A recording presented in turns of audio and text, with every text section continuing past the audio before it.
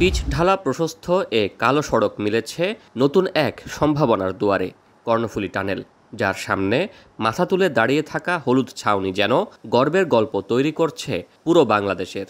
পতেঙ্গা প্রান্তে টানেলের প্রবেশ মুখে বসানো হয়েছে নিরাপত্তা বেষ্টনী, যেখানে ওজন, উচ্চতা মাপা ও স্ক্যানারে তল্লাশির পর গাড়ি এগিয়ে যাবে। একই সময়ে চোদ্দটি গাড়ি তল্লাশি করা যাবে এখানকার চোদ্দটি গেটে। প্রকল্প পরিচালক জানান, সাতটি বিশেষ কন্ট্রোল সিস্টেম একত্রিত করে পরিচালনা করা হবে এ টানেল, যা বেশ জটিল প্রক্রিয়া। নিরাপত্তা, টোল আদায়, গাড়ি নিয়ন্ত্রণ, লাইটিং, তাপমাত্রা সবই নিয়ন্ত্রিত হবে একটি কন্ট্রোল সিস্টেম থেকে। তাই আঠাশ অক্টোবর উদ্বোধনের আগে সব ঠিকঠাক আছে কিনা দেখতে এ সপ্তাহে ট্রায়াল রান করবে কর্তৃপক্ষ। ইমার্জেন্সি মোড দিয়েও তারা এটা এখন টেস্ট করে দেখবে। টেস্ট করে দেখার পর সেখানে আমাদের পুলিশ এবং ফায়ার ব্রিগেড, তারাও থাকবে সেফলি যদি আমরা সম্পন্ন হয়, তাহলে বলব যে এটা ইমার্জেন্সি মোডেও এটা নাও ফিট ফর এখন কেবল আনুষ্ঠানিক উদ্বোধনের অপেক্ষা। এরপরই পেছনের এই সড়ক ধরে নদীর তলদেশ দিয়ে ছুটে চলবে গাড়ি। এতে দক্ষিণ চট্টগ্রাম তো বটেই, সমগ্র বাংলাদেশের অর্থনীতিতে এই টানেল রাখবে এক গুরুত্বপূর্ণ অবদান। শুধু তাই নয় এটি এশিয়ান হাইওয়ের সাথে যুক্ত হয়ে চট্টগ্রামকে পরিচিত দেবে আন্তর্জাতিক যোগাযোগের এক প্রাণকেন্দ্র হিসেবে।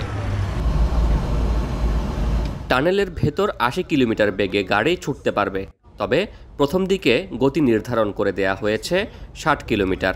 তবে তিন চাকার কোনো বাহন মোটরসাইকেল টানেলে ঢুকতে পারবে না। যেহেতু এটা একটা ডেডিকেটেড লাইন থাকবে ডেডিকেটেড ইলেকট্রিক লাইন এখানে কেউ দাঁড়াবে না, গাড়ি সাই সাই করে চলে যাওয়া।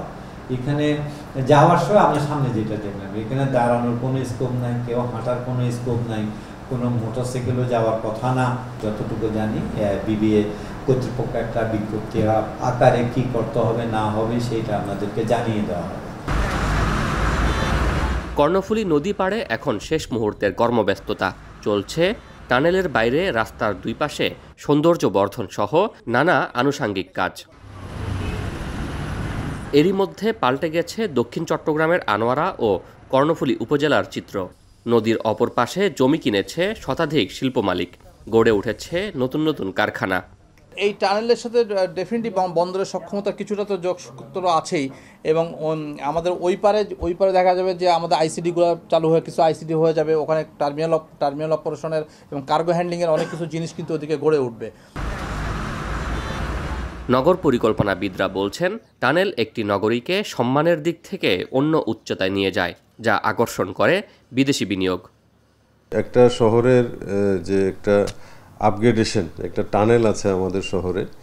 এটা যখন বিদেশি ইনভেস্টাররা এই সমস্ত বিষয়গুলো দেখে, তারা আস্থায় নিয়ে আসে সেই দেশটাকে বা শহরটাকে। এক্ষেত্রে বিদেশি বিনিয়োগ আকর্ষণের ক্ষেত্রে এটা একটা বড় ভূমিকা রাখবে।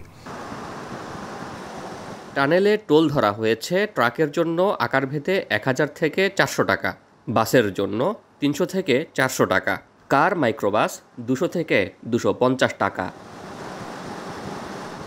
শোয়েব রহমান, এখন চট্টগ্রাম। আড়াইশোটিরও বেশি ডিজাইন অপশন নিয়ে ওয়াল্টন স্মার্ট ফ্রিজ, বোঝে আপনার প্রয়োজন।